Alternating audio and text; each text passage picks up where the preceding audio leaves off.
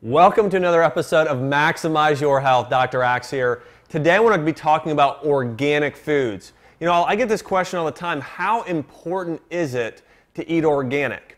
Well, I'll tell you, it actually can be very important, but it depends on the sort of food you're talking about. Um, for instance, are you talking about meat or dairy? Are you talking about produce? Are you talking about beans, nuts, and seeds? Again, it really depends on the food, but I will tell you this I want to go over the top things that you should always, always eat organic. And those top two things are meat and dairy.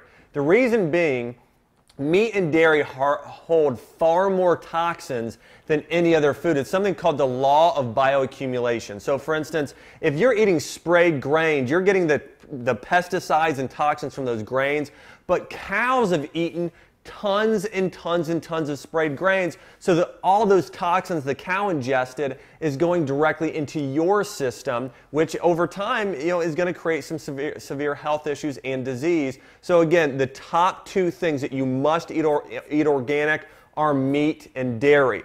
Now, after that, certain types of produce is, is, more important than others. The reason I bring this up is I get this excuse a lot. Well, I don't eat healthy or I don't eat organic because I'm on a budget or I don't have the finances to do so. I want to bring up a few things. If you're a person that eats Starbucks or drinks Starbucks, $4 a day on average just to get a Starbucks. If you go out to eat fast food, the average fast food purchase is $7.83 for an individual. And so I don't want to hear these lame excuses, I don't have money. Now, for some of you, I understand, but listen, you can still eat totally organic, healthy food and do it on a budget. I'm going to tell you how right now.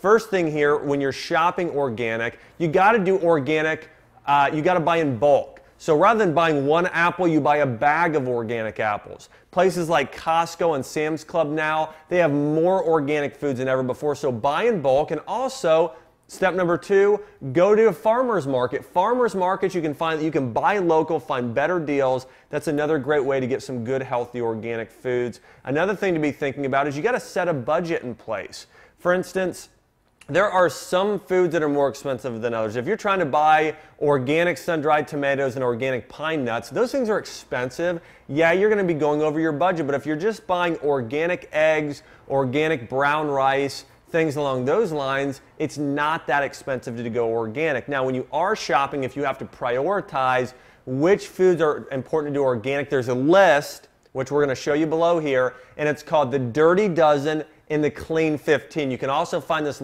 uh, this list in my book called The Real Food Diet. But here are some of the main foods things like apples, berries, uh, lettuce like kale and romaine lettuce. Those things you definitely want to try and do organic if you can because they don't have any covering on the outside. Those are sprayed directly with pesticides. Foods that aren't as important to do organic are things like pineapples and grapefruit. Reason being, a pineapple has a thick covering over it, so it's not going to be as affected by the pesticide. So again, if you are eating on a budget, keep those things in mind. Make sure you do the Dirty Dozen organic, Clean 15. It's fine if you do organic, but it's really not as important. And let me say this too, pesticides have been linked to cancer and they've been linked to ADHD in children.